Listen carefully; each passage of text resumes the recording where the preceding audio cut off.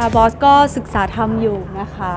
ก็มีความสุขดีค่ะ จริงๆได้พูดตั้งแต่เดือนเมษาแล้วเป็นความตั้งใจของ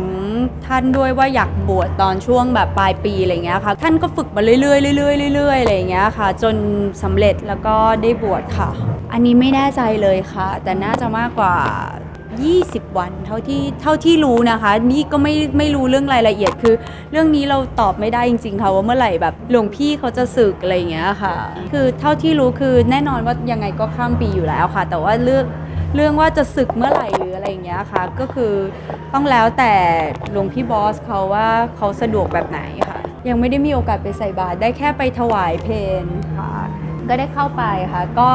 ท่านก็อยู่สบายอยู่สบายดีค่ะ ก็ดีใจค่ะที่พระท่านได้ทำสิ่งที่ตั้งใจหวังไว้สำเร็จค่ะ